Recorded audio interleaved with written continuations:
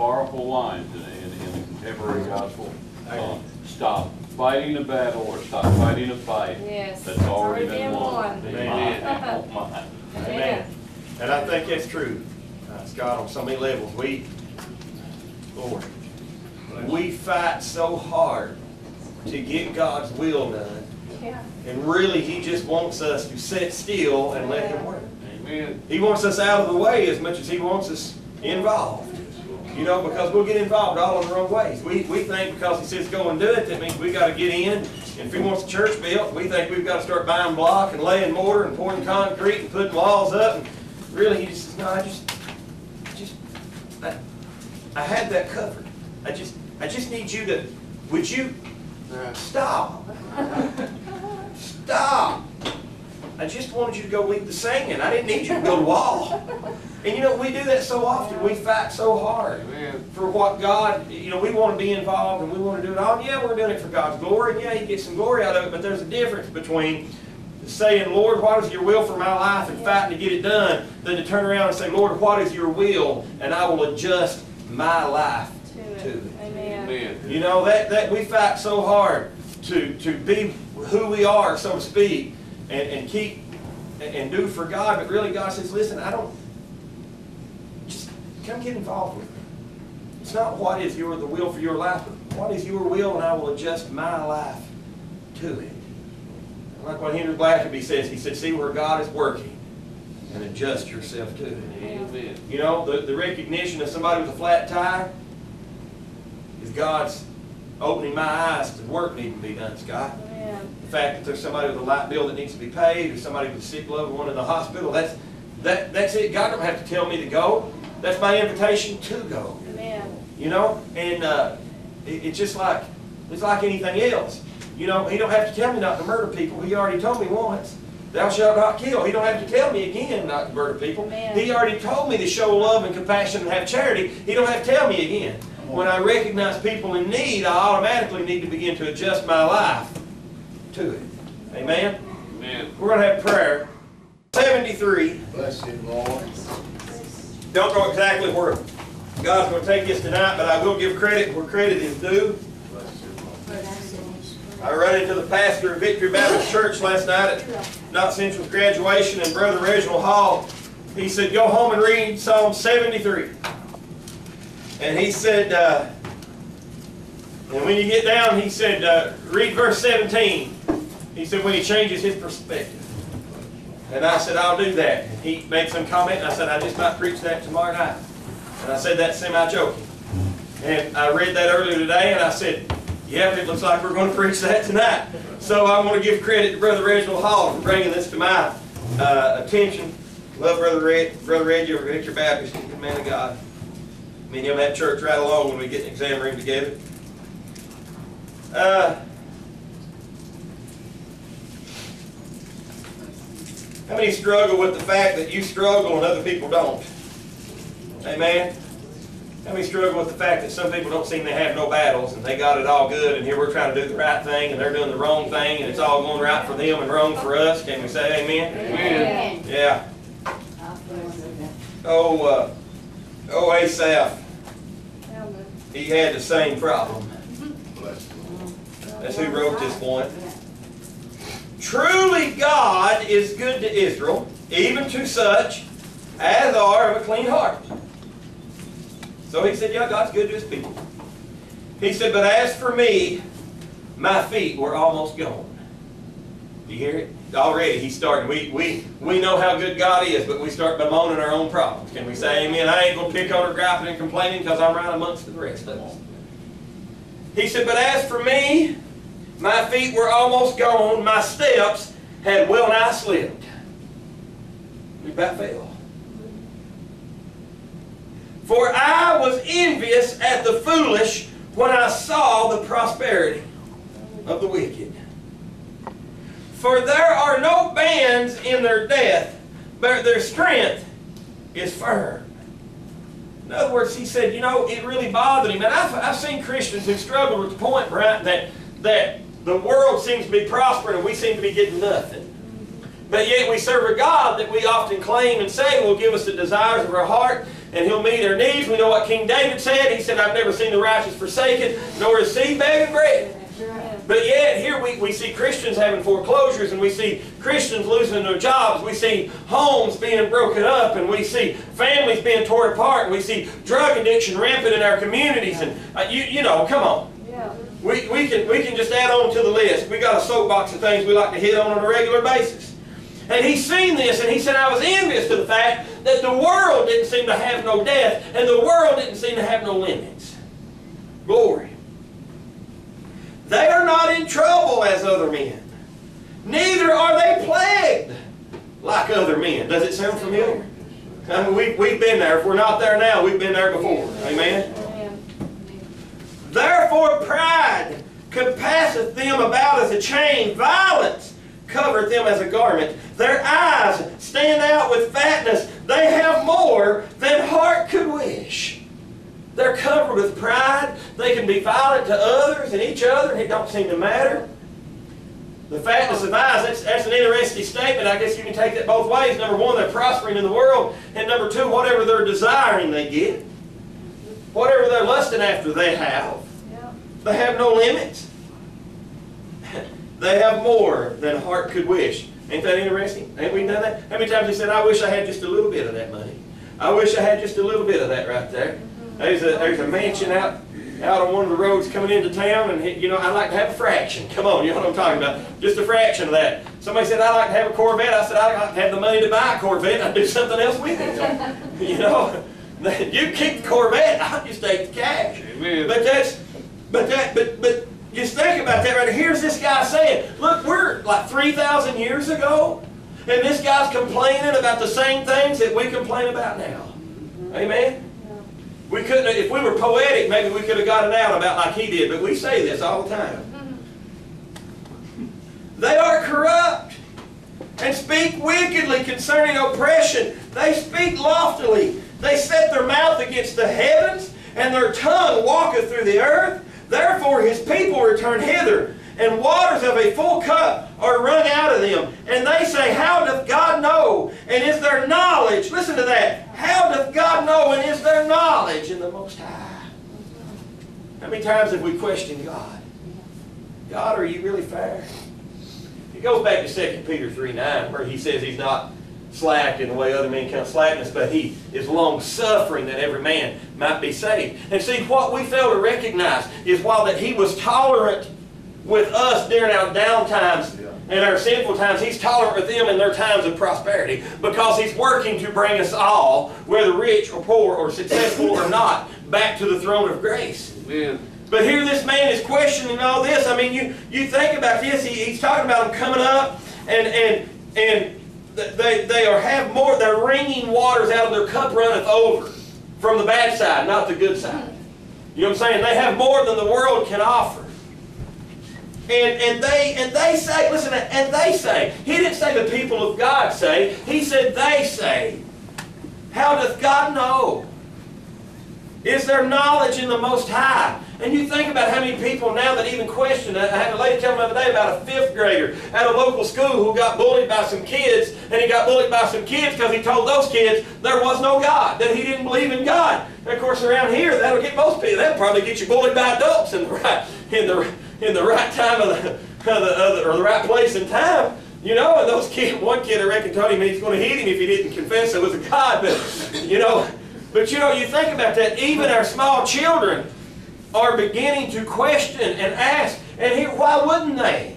You know, Friedrich Nietzsche, this, this German philosopher, or whatever he was from, uh, what, the 1800s, even made a statement. He said, for all the modern purposes of man, God is dead. And that's not an exact quote, but that's pretty, pretty close. And what that means is we become so successful with our own personal gain, and we begin to forget the fact that we even need God to be involved. Amen.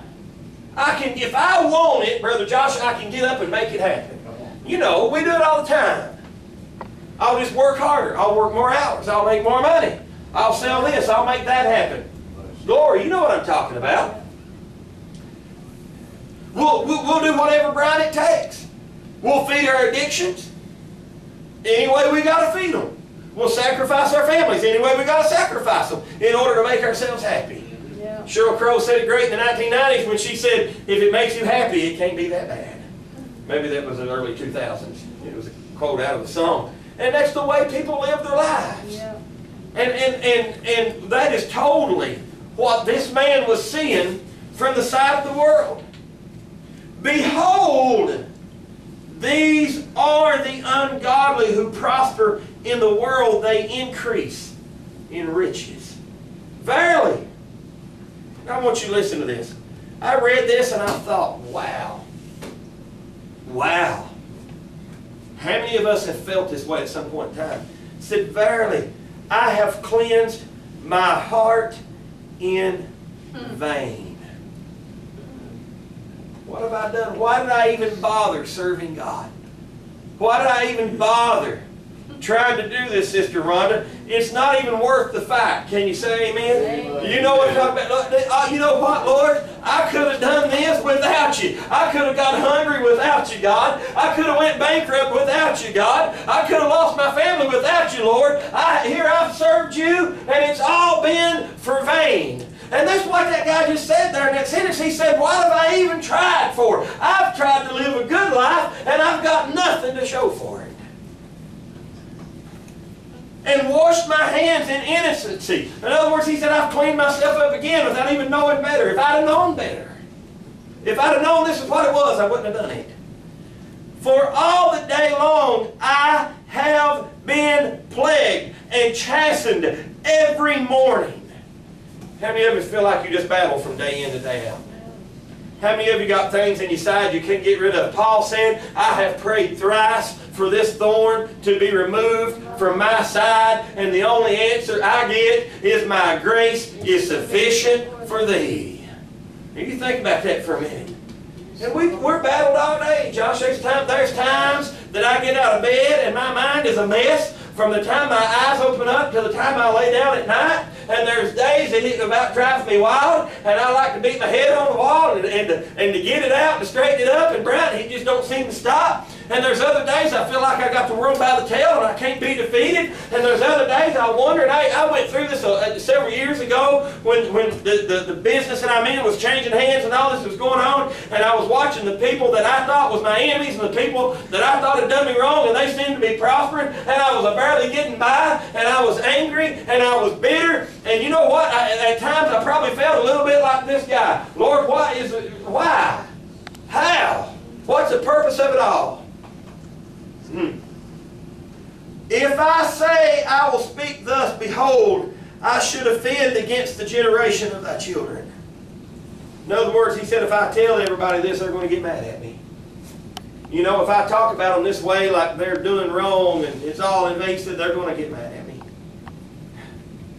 And I, and I like 16 and 17. It all hinges right there. He said, when I thought to know this, it was too painful for me. Did you hear that?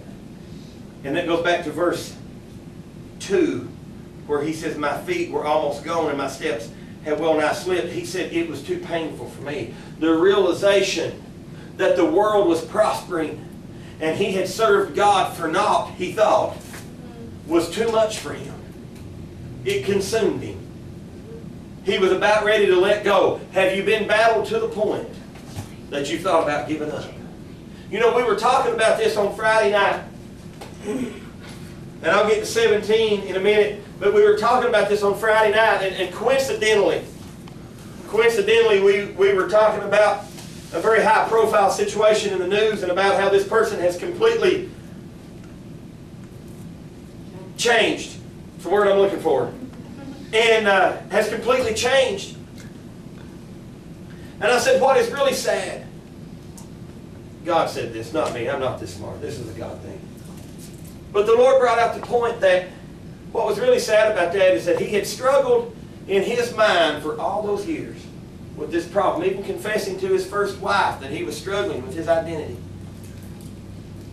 And then at the age of 65, he gives up. You think about it for a minute. He gives up. Yeah, I know we can say a lot, and I'm not trying to get on that person particularly, but I want you to think for a minute what you see in that is a man who give up. You see a man who finally said, the rest of this is in vain. All my struggles are in vain. All that I've done is in vain. Everything that I've done is not worth it. This battle in my mind ain't worth it. I'm letting it all go. And you see, we see Christians like that all the time. For whatever reason, we come to a point in our life when the battle gets too big, so we think, and we disregard what the Word of God says, where He said, if you're tempted beyond what you, will, you can bear, I will make a way of escape. But we, we don't see the escape. We don't understand, glory to God, that on the cross, Christ Himself reached a low point, Brother Josh, where He needed a way of escape. And you're what he, hey, Hebrews said that He was tempted in every like manner that we were tempted. And you say, well, if He was tempted like me, then He was tempted to give up, and He was tempted to let go. And I'm going to tell you the Word of God, I can find it, because He hung on the cross, and He was stretched arm to arm, and He began to cry out of His mouth. He said, Father, why have you, glory to God, forsaken me? And you see, He hit His low point. Josh, He needed an escape. Glory. He was looking for a way out. He needed that because he was tempted beyond what he could bear. And he found the escape in the death of the body because the spirit left. God called him home to sit on the right hand of the Father. And you see, we got that kind of escape this evening. Not in death, glory to God, but in the escape of the Holy Spirit and the escape of salvation. And if we will hold on, God will not give us the freedom that we need, glory to God, from the things that battle in our mind. You see, he fought all those years. And he finally said it ain't worth it anymore. And what's really sad is they don't ever come out and say it ain't worth it anymore. They find a way to justify their actions. Yeah. Well, if I can't control my own thoughts and the way I feel, then it just must be born that way. I must be made that way. And if God didn't make me that way, then there must not be no God. Come on. And, and it don't matter what we're talking about. It don't matter whether it's addiction. I don't care if it's to drugs or pornography. Come on. It, it don't matter. I don't care if you're addicted to sex. Or I don't care if you're addicted to food. Whatever it is, if there's an addiction in your life, we struggle in our mind, Brother Josh. Glory to God. And for me to give up the battle means that I'm giving up on the power of God. Because if I say God can't fix it, then I'm denying that He sent His Son to sit on the cross, that got out of the grave in three days. I'm denying that we were healed by His stripes, as the Word of God said. Because I have to believe, and I'm sure I'm going to be tried because God's been having me preach it too much lately. But I've got to believe that if it says it in the Word of God, that it is real and it is true, and I will not back up on it. And if He tells me that I got a way of escape, Blake, then there's a doorway waiting with my name on it, and a knob that I can turn to get out in a hurry. Come on. And I got to believe that there's an addiction in my mind that it needs to go. That if I will hang on, my God is just to deliver me from what I can't conquer on my own. I don't want to be one of the sad ones. Come on, one of the lost ones that say the battle ain't worth fighting anymore. See, we begin to question people around us. We begin to question motives. I've seen my family destroyed by the fact that my grandfather never made right for abusing them. Come on. Destroyed them. Josh, at least some of them, because they could never come to terms with a man who was a preacher that never made right with his family. Come on. And so instead of hanging on and fighting the fight, even though that they didn't understand, I ain't justifying nobody. My grandfather was wrong in what he done. But instead of turning to God and hanging on, they turned to the bottle and destroyed their lives. They give up the fight. It wasn't worth it anymore. It wasn't worth the fight anymore. I've seen families tore apart because people didn't think it was worth it anymore. Just ain't worth doing anymore, Sister Rhonda. There's no escape. We see people take their lives all the time because of battle. Ain't worth it anymore. Going to school one more day and being picked on. Yes, sir. ain't worth it anymore. Feeling this pain in my body, Brent, one more day ain't worth it.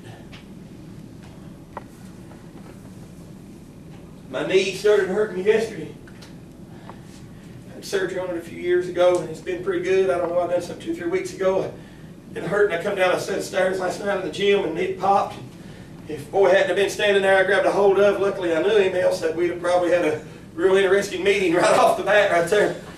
But, but I grabbed a hold of him and said, "Just hug me while I tie," and uh, held on to him, and it popped and ground. And, and you know, I could begin to question God, Josh, and say, Lord, what, what is it you want me to do with a bad knee?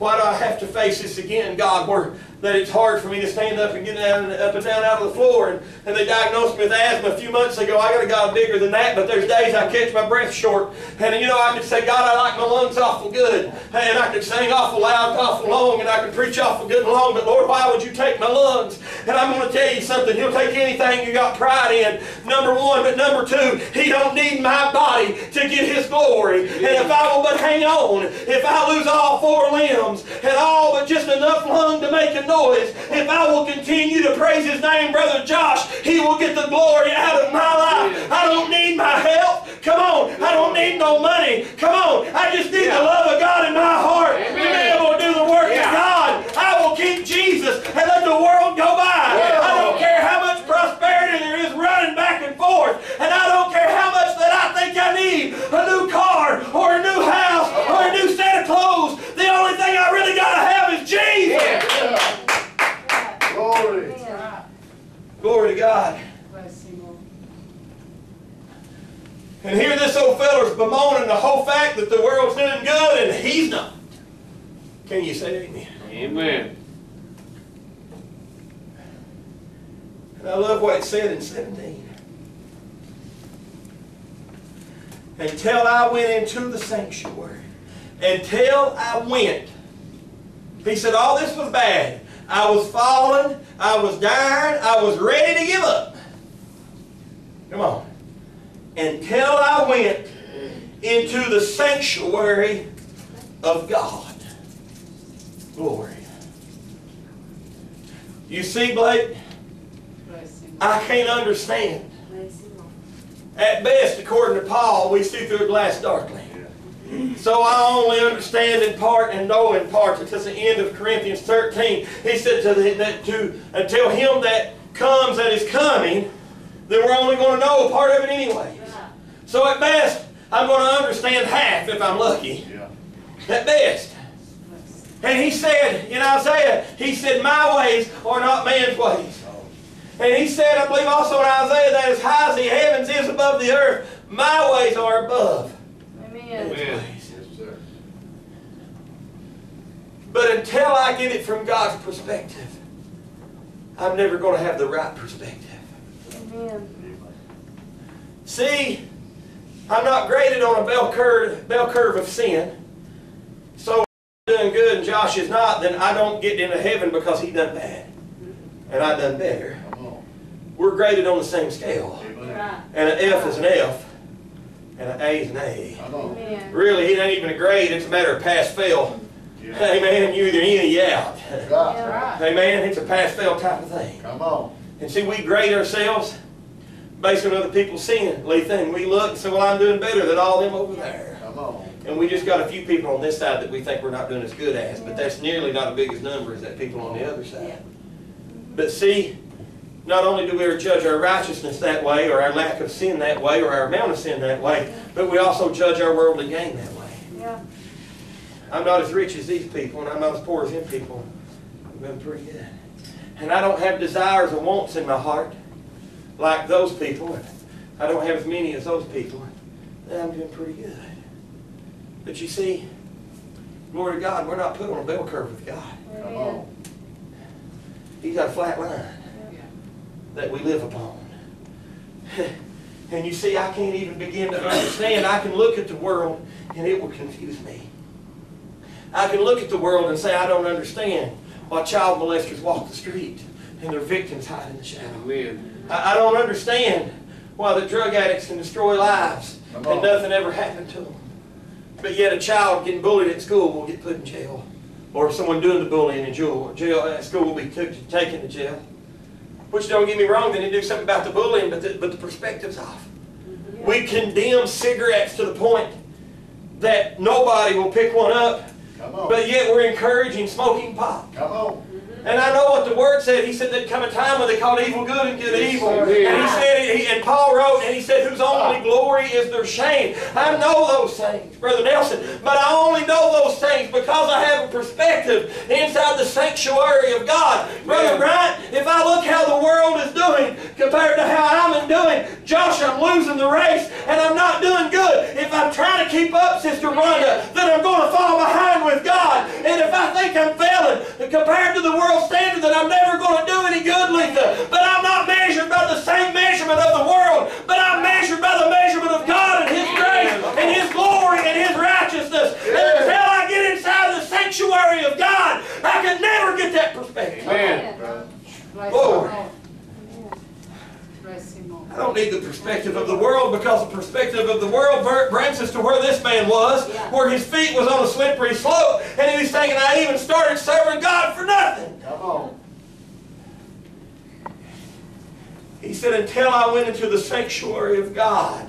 And listen, listen to those last five words. Then understood I therein. He said, then I understand therein. See, when I get the right perspective, then I can see where the world is going. Surely thou didst set them in slippery places. Thou castest them down into destruction. For all we see them as prosperity, God sees them as failing. Wasn't it during the parable of the rich man that he begged Lazarus, Abraham, to let Lazarus come and dip him? And Abraham made a comment to him along the lines of the fact that that some have their blessings and their treasuries down here. Come on. Amen. And some get them over yonder. Yes, sir. Think about that, church. Bless him, Lord. How are they brought into desolation? As in a moment. A moment they're brought into desolation. They are utterly consumed with tears. Lord, if I go there, it's going to get ugly. Bless him, Lord. I'm going to tell you something. And I'm not sitting here saying that walking a Christian life is easy. Come on. Bless him, Lord. Far from it. I'm not gonna tell you that I ain't got battle crap because I got them, and I'm not gonna tell you we ain't got depressed Christians. Come on. I ain't gonna tell you that we ain't got sick Christians, I ain't gonna tell you that we ain't got Christians who are struggling on a daily basis. Come on. But I'm gonna tell you what, if the worldly side was so good, they wouldn't have a suicide rate. If the worldly side was so good, they wouldn't have a divorce rate. If the worldly side was so good, they wouldn't be child molesters. And there wouldn't be pornography. Come on. If the worldly side was good, we wouldn't have drug addicts and alcoholics. Can you say amen to see it? Come on. You see, when you get the perspective, you realize that those people are slated for destruction. And if they don't get it on this side of the grave, Lord God, there's a judgment coming. Brother Josh, where they're going to get it, Brother Nelson. Come on. And it ain't, a, it ain't, a, it ain't a me saying, oh, glory me, look, I get out of it. And oh, poor pitiful them. Let me tell you, it's something that I ought to fall on my face and weep and cry about because I ought to be like 2 Peter 3 9, where I ought to be long suffering and want to see those people come to the throne of God. Hey, glory, I don't want to see nobody go to hell. I want them all to come with me to glory. But if the world was so good and the perspective on it was so awesome, then why are we even bothering with this? Why are they looking for something more? And why are they never satisfied? Let me tell you, when I found Jesus, when I got inside the sanctuary, I got satisfied. My addictions were taken care of, glory to God, and my wants were taken away. I didn't need nothing that the world had to offer. I just needed Jesus. Amen. Glory. You see, they're headed for destruction, and some of them don't even know it better. And that is the sad thing, because we've got it and we ought to be out proclaiming what the truth is. Yes. But I'm going to tell you, hallelujah, glory to God. If it was so good, they wouldn't be looking for something more than what they've got right now. Amen. Christian or not, they look for the same answers we look for. Amen. They want to know why some are rich and some are poor.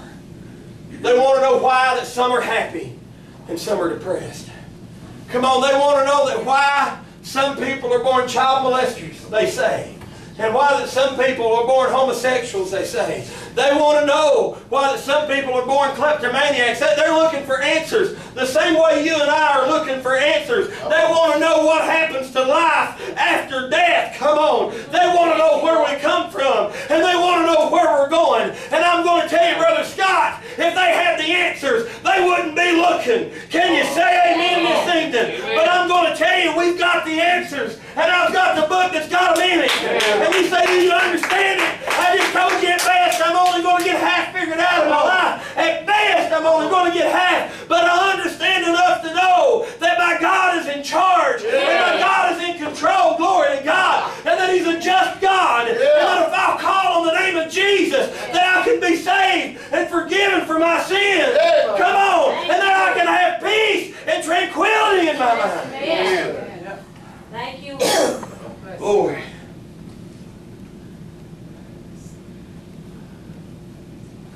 Yeah, we got our struggles. Amen. Amen. But if we're serving God the right way, my happiness and my peace ought to be far above the happiness and the peace that the world has. Yes. Amen. And if it's not, perhaps we ought to reevaluate. that. Amen. And I'll talk about us on a group curve for a minute, just as a group. The group of the world should not have as high marks in peace and happiness as the Christian group should. Right. I'll give them the benefit of the doubt that some will have their struggles on their side, like some will have their struggles on our side. We're people, we're imperfect. But if we're not serving God to the point that we can achieve what the Word of God promises us, then we've got a problem. The church world ought to be happier and more content with less than the world. Yes. Amen? Amen. You think about that a minute. But yet, instead of, I like what Brother Scott said about Brother Parsons. Brother Parsons from here in Martin County. He said they remembered they went into a bare room and screwed the light bulb in the ceiling, and they had church. I got some missionary friends in Ecuador. Sister Perry's been down here to church. People don't even have hot water tanks, man. Come on. They get a little electric water head you screw on there, and he's supposed to heat the water and it comes out. One change of clothes. Two, maybe if they're lucky. Eating a whole lot of rice and tortillas or a flour bread, something very basic. Happier than coons in the cornbag. They're not dealing with depression down there. Come on. They're not dealing with people asking what their purpose is in life. And they're not dealing with people who's trying to gain. They're dealing with people who have nothing by our standards. So they work all day to make a block of cheese, sell it for two dollars, and they're happy. Why? That two dollars feeds them tonight and in the morning. That's all they need. You see what I'm saying? They're not after big mansions and big homes. They're not after the thrills of life. They just enjoy living. Amen. And that's not the Christians one. That's the society. That's that's a society, that community that's down there as a whole. That's Ecuador. At least that section up in the mountains. That's what they're dealing with. They're they're not they're not tore up by worldly gain. One lady in their ministry there who's doing a lot of cooking. She's got seven kids. Her husband's married young. I think they said seven kids, all under the age of 10. And her husband died three years ago, and she's providing, trying to provide for them and them seven kids. Got one change of clothes apiece, but they're always clean. Come on, man. And I ain't criticizing nobody, because Lord, I know if I lost my spouse over here, you'd all die.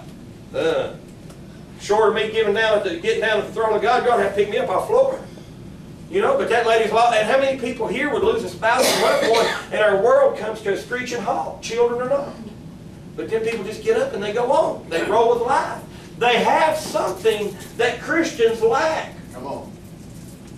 They have a contentment in the small things. They have a contentment in the little things. They have a contentment, dare I say, in the real things. Yeah. Brother Ricardo said he can't get church started on time. He said, because you're telling me starting at 7, he said everybody rolls in at 7, between 7 and 7.30. And he said if there's 40 people in the building, everybody walks in and walks around and hugs everybody else's neck. And they don't just shake their hands and keep quiet, but they're kissing each other on the cheek, and they're hugging one another, they're talking about their day, and how have you been, and I ain't seen you in a while. And he said, you don't get started at 8 o'clock. He said, by the time everybody gets in and gets through greeting each other. And he said, if you're on your way to meet somebody, and, and you run into somebody else to talk to, it don't matter that you told them that you'd be there at 12. If you run into somebody to talk to on the way and you get there 2, that's fine. Because you see, they're worried more about the relationships with their people than they are about the relationship in the world. Amen. They're worried more about their families and their friends Come on. and the people around them than they are making their worldly gain. And you see, when you get a perspective from inside the sanctuary, you see that you're all my brothers and sisters in Christ. And I should be more worried about your blessings and your health than I am my own. Amen. Glory to God. And I should be more respectful of your time than I am my own. And I should be more worried about taking care of my family than I should making money and putting it in my pocket. Come on. Sometimes people ask me why don't I work more. I say because I've got a family. Amen. And the money that I can bring in ain't worth losing time with my children. Amen. Don't get me wrong. Thankful for what I've got. My daddy didn't have the fortune, have the fortunate situation to be able to do that decision. He had to work. And he had to work hard, and he had to work long. And there's times I didn't seem like Scott because he was working, and it was all right. That's what my daddy had to do. And if I was having to do that, then there'd be nothing wrong with that. But glory to God, I'm in a position where I can step away from that a little bit and be able to be there a little more for my children. I wish I'd have thought of this a few years ago and would have even been happier in one way than I am now because I missed a lot of things with them. But glory to God, Brian, it ain't about the amount of money I make. Amen. It ain't about the kind of car I drive. Amen. It ain't about the kind of house I live in. Oh, and those things are fine. I'm glad if you got them and more power to you and pour it on you. But if that's the pride in your heart, Amen. then that's what's standing between you and God. Amen. I liked what Rhonda said a while ago. Are you willing to be stripped down of everything but God? Come on. Christ, glory. I'll say this and try to move on. Christ was stripped of everything but God. Amen. Amen. He laid down his power. He laid down his divinity. Come on. And he laid down all the power that he was to pick up a fleshly body. And let me just tell you, that was a serious downgrade. Yeah. From where, for all he, you think he might have gained from picking up, no, no, no. He'd been better off just probably not picking up anything at all Come than picking up old filthy man. But not only did he lay down his kingship, the word says that nothing was made without him, and all made things were made through and by him, and all things were created for him. And he laid all that down and stepped down here on earth. But it didn't stop there Amen. because he still had a little of his own self-pride and dignity. He wasn't arrogant, but he was a good man. And he done wonderful things for people. I understate good and wonderful. Come on. He was beyond good and wonderful, but you know what I'm driving at. But they wasn't satisfied until they stripped away everything that he had. And so they began by stripping away his testimony. Lord, I didn't see this coming. And they began, Brittany, by stripping away his testimony. And, and, and then they started making fun of him and started pulling at his dignity. But they didn't satisfy him until they got to beat him and they maimed his body. And so he lost. And Isaiah says maybe he wasn't all that good looking anyways, but they, they maimed him to the point that he was humiliated. And that didn't satisfy him, but they destroyed his body that he couldn't hardly move. And that didn't satisfy him, so they put thorns inside of his head and drove him down. And they made fun of him. And then that didn't satisfy him. And they nailed him to a tree. And that didn't satisfy him until they had ripped his clothes off. And there he hang in naked shame in front of everybody, bleeding and dying on a cross with everything that a fleshly man could hold dear was ripped away and running down the base of the cross. Glory to God. But the only thing that they hadn't stripped him of was the Christ from the God that lived on the inside of him. Oh, Thank Glory. you. Are you willing to be stripped away to nothing but you and God? I often think about the Jews in the concentration camps. Tattooed. Had a number. They tracked them. They lost their individuality. There wasn't a name, they were a number, they didn't care. Then they made them run naked around them camps, Josh. Come on. we'll be real with you, man. I can't imagine standing in a camp of 3,000 people nobody not having no clothes on. Me included. I can't imagine being a guard and having to see all that, let alone be in that. Stripped of everything they had. Are you willing to be stripped of everything you have and let God rule and reign in your life? Will it cost you your family? Well, sometimes. Will it cost you your life? Every bit of it. I don't say that in a bad way. Because inside being stripped down to God is the greatest peace and satisfaction that a man can ever Come know. Amen. Glory to God. It's worth losing everything to keep my God. Amen. He said, if I gain the whole world and lose my soul. Come on, you think about it tonight. As a dream when one awaketh, so, O Lord, when thou awakest, thou shalt despise their image. Thus my heart was grieved, for I was pricked in my reins. So foolish was I and ignorant. I was a beast before thee. He says, Lord, how can I have been so foolish to thank God that they were prospering and me trying to live for you with a sincere heart was failing? How can I be so foolish and ignorant and unlearned, God, that, that I'm just like a beast, Lord? And we know how dogs and beasts are. Ain't none of us got anything but dogs anymore, maybe a horse. Ain't nobody got ox or anything that we'd call a beast. But they just, you know, they, they don't understand. There's only a certain level of comprehension. Yes, sir. People say you're a vet, Shawn. You shouldn't say that. I'm sitting here telling you they ain't got the IQ of a human. I don't mean that mean. They don't think on that level. They can't. And he says, I'm like a beast. I, I'm just, I was ignorant to the fact, God, that here I'm watching the world do good and thinking that they're prospering, and me sincerely was failing serving you.